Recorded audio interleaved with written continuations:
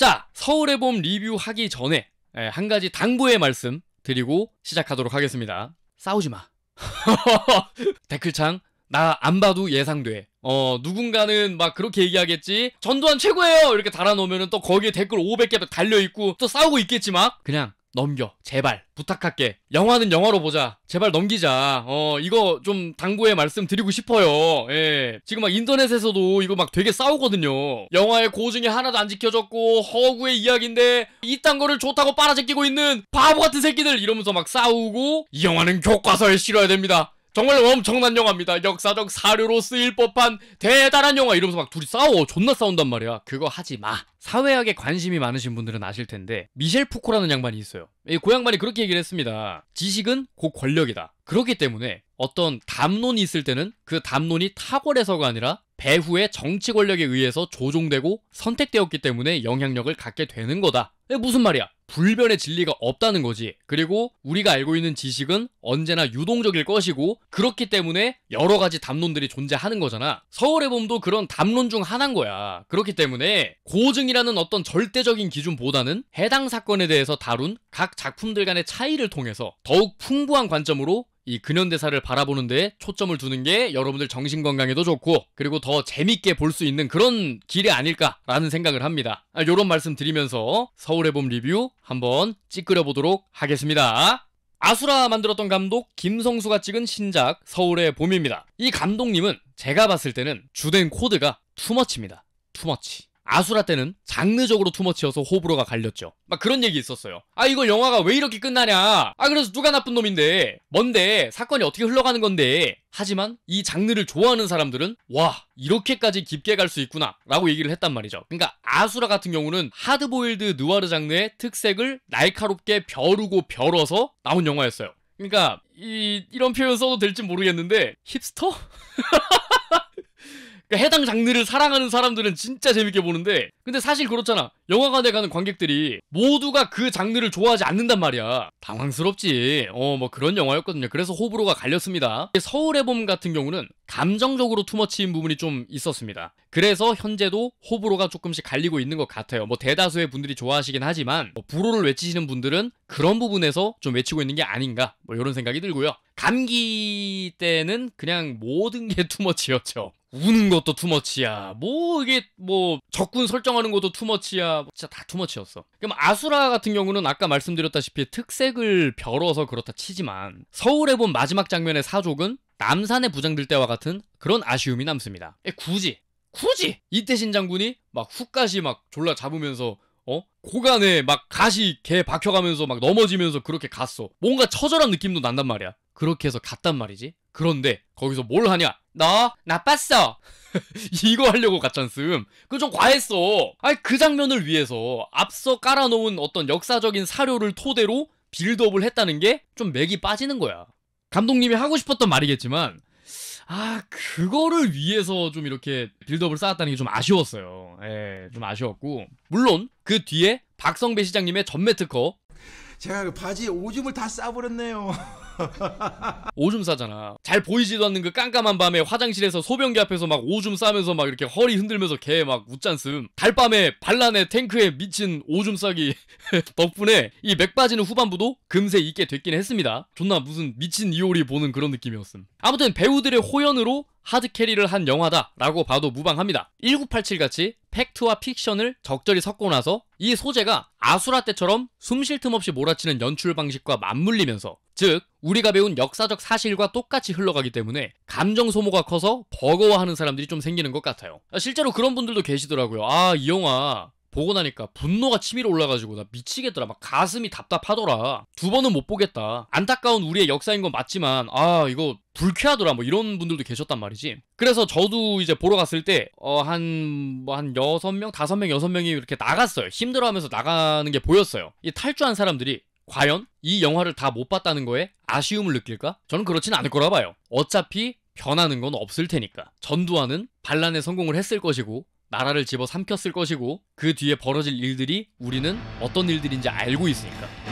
대통령으로서의 직책을 성실히 수행할 것을 국민 앞에 굳게 선서합니다. 대통령 전두환. 서프샤크 GPS 스포핑으로 해외 넷플릭스를 볼 수도 있고 한 명만 구독해도 숫자 제한 없이 사용할 수 있지만 이에 반기를 든 녀석들이 등장하고 있었다. 여보세요. 야, Surfshark 바꿔. 야, Surfshark 바꾸라니까. 지, 장태환 부장님이십니다. 야, 장 부장? 나 유학생이야. 왜 흥분부터 하고 그래? 우리 얘기를 들어보면은 장 부장이 충분히 이해할 거야. 아이, 형님은 또 왜 거기서 그러고 계십니까? 형님이 나더러 고객님들을 잘 모시라고 했지 않습니까? 그런 형님이 고객님한테 안내도 제대로 못했다는 이게 말이나 됩니까? 더 말할 거 없습니다. 지금 당장 코드를 입력하고 24개월 구독 시 5개월 추가 이용이 가능하며 초고속 서버에 30일 환불도 보장 가능한 크리스마스 할인을 안내시키세요. 장 부장, 그럴 수는 없어. 우리가 이렇게 손해보면서 장사할 수는 없어서 불가피한 일이야. 정말 일하깁니까? 이봐! 계산기를 두드려 보고 문제가 없으면 특전을 주면 될 거 아이가? 야이 발랑구 놈의 새끼야! 니들 거기 꼼짝 말고 있어! 내 지금 전차를 몰고 가서 니놈들 머리통을 다 날려버리겠어! 역적 놈의 새끼들! 장 부장이 특전을 안 주면 전차로 날려버린다는데 어쩌지? 고객님 해결되셨습니다. 24시간 운영하고 있는 Surfshark 고객센터에 언제든 문의 주세요. 네, 네. 확실하게 AS 해드립니다. Surfshark VPN. 뭐 영화 얘기를 조금 더 하자면 아, 영화 자체로는 생각보다 밋밋한 느낌이었습니다. 영화의 밋밋함이 어디서 기인했을까 생각을 되게 많이 해봤는데 이 영화의 밋밋함이 한 줄기에서 뻗어나온 선과 악의 대립구도 때문이었던 것 같습니다. 이태신과 전두광은 같은 결의 사람으로 봐도 무방할 정도예요. 아 뭐 이렇게 얘기하면 또 그럴라나? 아이 저 김채호 저거 어? 너 일베하니? 뭐 이럴 수도 있을 것 같긴 한데. 아니야. 그 내가 하고 싶은 얘기는 그런 얘기가 아니야. 야 장태완이랑 전두환은 똑같은 사람이야.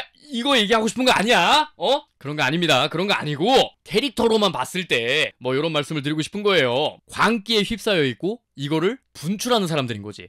하나는 나라 전복 하나는 broken arrow. 하지만 이 광기를 선하게 쓰면 정의로운 이태신 악하게 쓰면 비열한 전두광이 되는데 이게 마치 스파이더맨 3에서 에디와 피터의 대립구도를 보는 듯한 그런 느낌이었습니다. 이 스파이더맨 다들 아시지 않습니까? 샘 레이미의 스파이더맨 trilogy 1편 정말 재밌었죠. 2편도 뭐 나쁘지 않았어요. 근데 3편은 좀 저평가를 받았죠. 그 이유 중 하나가 대립구도가 밋밋하다는 그런 점이었습니다. 그런 단점을 고스란히 서울의 봄이 갖고 있는 그런 느낌이었어요. 이렇게 하나 딱 찝어서 말씀을 좀 드리자면 전두광의 악행을 관조하는 게 아니라 악행을 극화시킨 방향으로 극이 진행됩니다. 거기에다가 한국의 근현대사라는 점까지 더해져가지고 관객에게 죄책감 없는 혐오감 내지는 뭐 증오감 그리고 그걸 느끼면 어떤 윤리적인 만족감까지 주는 뭐 그런 느낌인 거죠. 너무 명백히 씹새끼니까. 근데 난 이게 아쉬운 거야. 역사적으로도 사람들은 다 뭐 어떻게 알고 있어. 정말 일부의 소수 사람들을 빼고는 씹새끼. 알고 있단 말이지. 그냥 그 사실 자체만 건조하게 관조하는 방향으로 보여줘도 충분했는데 굳이 굳이 또 악행을 극화시켜가지고 그거를 도드라지게 보이게 했다라. 아쉬운 거죠. 이것 때문에 어떤 한국식 히어로라고 부를 수 있는 강철중을 위시한 형사물이나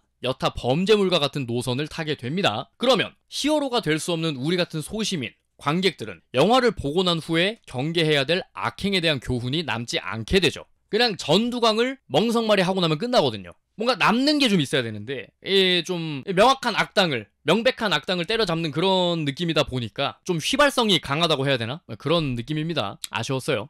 예, 물론 이제 단점만 주구장창 얘기를 했지만 상업 영화로서의 만듦새는 너무너무 좋습니다. 뭐 보신 분들 다 아실 거야. 긴장감 넘치고 속도감도 좋고 어? 전개가 너무 빠릿빠릿하잖아. 이게 빠릿빠릿하다라는 느낌을 주지. 탁탁탁탁탁탁. 음악도 적재적소에 빠빠빠빡 들어가 있고 어? 뭔가 긴박한 장면에서 막 이렇게 둥둥둥둥둥둥둥 거리는 막 음악 나오고 이 심장이 둥둥둥 뛴단 말이야. 일이 어떻게 벌어질지 알면서도 그 아슬아슬한 느낌 그거 너무 잘 줬단 말이야. 그러면서 둘이 막 대조를 해놓잖아. 어떨 때는 이태신이 유리해가지고 전두광이 막 으악 하면서 막 힘들어하고 전두광이 유리할 때는 또 이태신이 막 긴장감 넘치게 막, 막 그렇게 움직이면서 동분서주 하잖아. 그것 때문에 결말을 알고 있어도 어떤 그런 긴장감이 팽팽하게 유지가 됐다. 예, 요런 부분이 정말 좋았어요. 배우들이야 뭐 충무로에서 빼놓을 수 없는 엄청난 배우들만 있지 않습니까? 당장에 지금 생각나는 사람만 해도 황정민, 정우성, 정만식, 어 이성민, 아, 이성민 아저씨 좀 이상하긴 했어. 아, 왜냐면은 분명 어 이 사건 전에 두 달 전에 총 맞아서 돌아가셨는데 어, 갑자기 예토 전생 해가지고 육군 참모총장 하고 있는 거임. 좀 기분이가 좀 이상했음. 기분이가 좀 많이 이상했음. 아무튼 엄청난 배우들만 있잖아요. 그러니까 재미는 당연히 있지. 재밌을 수밖에 없어. 왜냐면 영화를 구성하는 주된 요소가 뭡니까? 스토리, 배우, 관객. 그렇잖아. 근데 이제 배우랑 관객이 충족이 됐잖아. 재밌지. 재밌는데 그렇기 때문에 아쉬운 점들이 좀 도드라져 보이는 겁니다. 어, 그런 맥락에서 좀 아쉬웠던 포인트 하나만 더 얘기를 할게요. 가장 아쉬웠던 포인트는 영화가 갈팡질팡했다는 점입니다. 오프닝은 분명 1979년의 실제 사건들의 시간 순서를 촘촘하게 보여줘요. 그리고 이어지는 장면들의 시간대와 날짜를 명확하게 기입함으로써 당대의 사건들을 고발하겠다라는 그런 뉘앙스를 풍기고 있어요. 하지만 여기까지. 그 이상은 못했어. 왜냐? 전두광은 늘 그랬듯이 박성배와 최철기가 결혼해서 정청이란 애를 낳고 30년간 길렀더니 머리가 벗겨졌더라. 시계 황정민식 5위에 포커스를 맞춰서 재해석을 했죠. 이태신 또한 정우성 배우의 연기 스타일에 맞춰서 괄괄한 성미와 진한 사투리 대신에 차갑고 좀 단정한 느낌으로 재해석됐어요. 빠져있다. 사건의 시간 배경 자체가 새벽이기 때문에 잘 안 보이는 거는 당연한데 그렇기 때문에 관객이건 연출자건 인공적인 조명에 광량에 의지할 수밖에 없어집니다. 눈부신 조명에 비춰지는 인물 혹은 거의 보이지 않는 조명에 드리우는 실루엣이 이 영화의 이정표가 되죠. 즉 시공간에서 공간이 사라지는 셈인데 이렇게 되면 1979년 12월 12일 서울의 봄에서 서울을 디테일하게 재현할 필요가 없어진 셈이죠. 결국 이러한 선택은 역사물을 다룸에 있어서 설득력이 옅어지게 되는 문제가 발생을 합니다. 근데 막상 또 엔딩 부분 가서는 뭐 했어? 하나의 사진을 credit에 떡 하고 박아버린단 말이지. 그리고 한 명 한 명 다 보여줘. 막 이력이랑 뭐 하고 살았는지, 어, 이 새끼는 뭐 했고요. 이 새끼는 죽었고요. 이 새끼는 아직도 잘 먹고 잘 살고 있습니다. 막 이렇게 보여주고 있단 말이야. 이게 무슨 말이냐? 그게 나쁘다는 게 아니야. 신중하게 갈 거면 아예 신중하게 가든지 아니면 풀악셀 밟을 거면 시원하게 밟아서 사이다를 좀 줬어야 됐는데 이 소주잔에다가 사이다 찔끔찔끔 따라주면서 시원하지? 어? 이런 거야 이게 사이다예요 막 이런 느낌인 거지 아우토반 갔는데 100 바른 느낌?